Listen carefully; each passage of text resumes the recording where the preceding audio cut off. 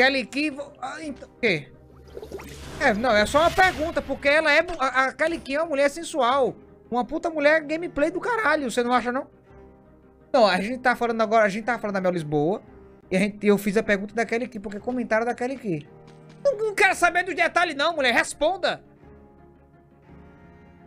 Cara, eu vi o pornô da Gretchen, o Moisés. Inclusive, eu me masturbei pro pornô da Gretchen.